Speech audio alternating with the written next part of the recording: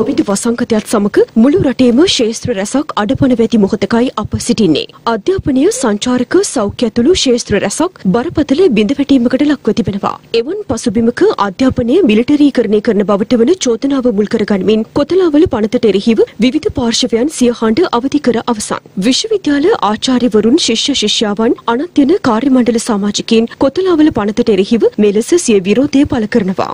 දිගින් දිගටම රටපුරා දැවන්ත විරෝධතා මාලාවක් ආරම්භ කර ඇති මොහොතක අදත් කොළඹ ලිප්ටන් වටරවුම අසලට විවිධ පාර්ශවයන් එක්වීමට නියමිතයි. විශේෂයෙන් රජය කොවිඩ් නීති සහ අයුතු ජනරාශි යටතේ අත්අඩංගුවට ගැනීම සිදු කළත් දිගටම උද්ඝෝෂණ ක්‍රියාත්මක වනවා.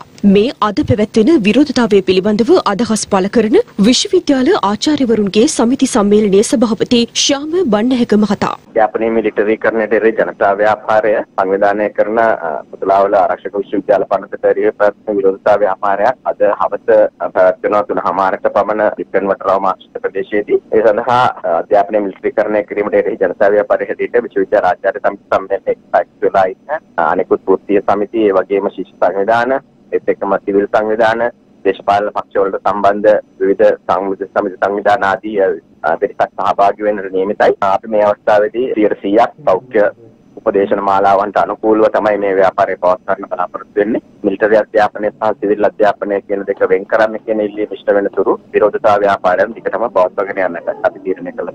මේ අතර පසුගියදා පාර්ලිමේන්තු ප්‍රවේශ මාර්ග අවහිර කරමින් විරෝධය පළ කිරීම හේතුවෙන් අත්අඩංගුවටගත් පෙරටුගාමී සමාජවාදී පක්ෂයේ සමාජිකයින් ලබන 11 වනදා දක්වා රක්ෂිත බන්ධනාගාරගත කර තිබෙනවා. හෙට දින තෙවනවර කියවීමට නියමිතව තිබූ කොතලාවල පනත විවාදයට ගන්නේ නැති බව අමාත්‍ය චමල් රාජපක්ෂ මහතා ඊයේ පාර්ලිමේන්තුවේදී ප්‍රකාශ කළා.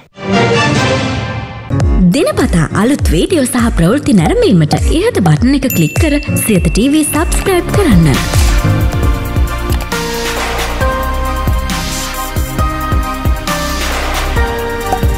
අලුත් වීඩියෝ ගැන මුලින්ම දැනගන්න මෙම සීනුව ක්ලික් කරන්න.